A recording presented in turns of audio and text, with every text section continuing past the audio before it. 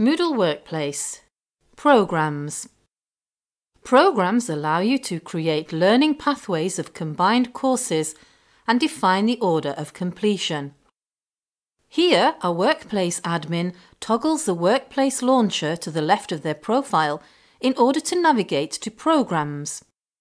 Clicking on Programs displays currently active programs, you can access archived programs, and clicking New Program allows you to create a new program. From Add, you can add an individual course or a set of connected courses, which you can name, for example here our admin has used Basics and Advanced.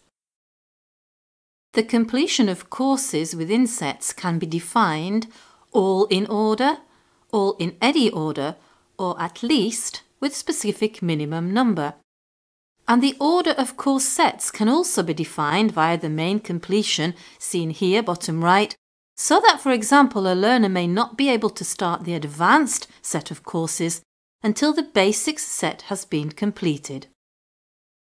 From schedule, absolute dates may be set or relative dates, for example a certain period of time after the start date.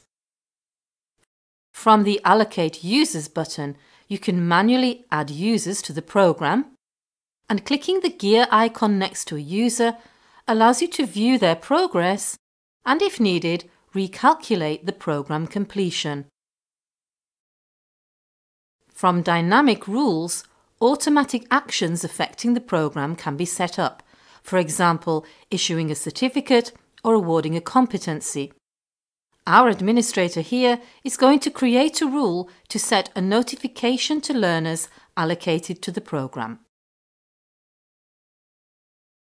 To summarise, programs allow you to create learning pathways by combining courses and defining the order of completion.